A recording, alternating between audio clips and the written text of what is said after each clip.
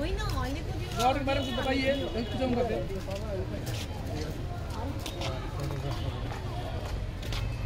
नमस्कार। अभी हम बीरगंज के घरेरा पोखरी में बानी और यहाँ छठ के तैयारी हो गई बा। हमनी के बीरगंज के घरेरा पोखरी के। देखल जाओ तो आज दुल्हन जैसन सजावट भइल बा। और हमनी के बिहान संजिया घाट जो एतवार के पड़ता तो ऐसे भी अपने लोग से हम निहोरा बा कि रोआ लगिन जहाँ भी बानी, कृपया एक बार छठ घाटे घूमे आएम। काहे कि बहुत अच्छा से सजावट भइल बा ए पाली घरेरा पोखरी के हर एक साल हमनी के सजावट होला।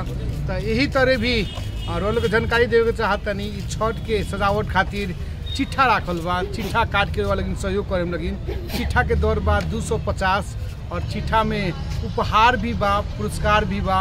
पड़ल तो पुरस्कार, ना पड़ल तो सेवा। और पुरस्कार के माध्यम से ही ई पूरा सजावट होला बीरगंज के घरेरा पोखरी के। और हमनी के देख रहल बानी सन कितना अच्छा से बत्ती, पंडाल, फूल के काम कुछ बाकी बा, फूल के भी सजावट हुई। तो यही तरह अपने लोग के जानकारी करा रहल बानी हम कि अपने लगिन छठ घाटे जे एतवार के संझिया घाटे पड़ल बा, सोमार के भोरिया घाटे पड़ल बा। तो अपने लगिन भी आयम लगिन, और जे भी हमनी के बीरगंज से बाहर बा, लोग लोग के भी देखा देवे चाहते हैं कि बीरगंज के जोनी घरेरा पोखरी बा, एकदम दुल्हन जैसन सजावल गई बा। तो हो सके तो शेयर भी करे लगिन कि अपन संगतिया लोग के जे बाहर बाटे लोग, उ लोग भी बीरगंज के नज़ारा देखो। काहे कि हमनी के बीरगंज के एक ऐसा शोभा बा, ई पोखरी, जे यहाँ सबसे ज़्यादा छठ होला लोग, छठ करे आवेला लोग, और छठ करे खातिर यहाँ कोनो किस्म के दस्तूर ना लागेला।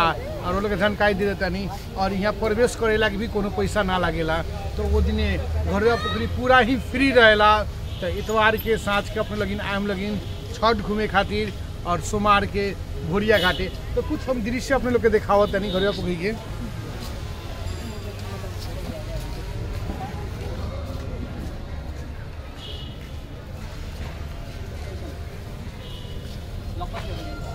कैसा लग रहा है भैया? बहुत बढ़िया बहुत बढ़िया।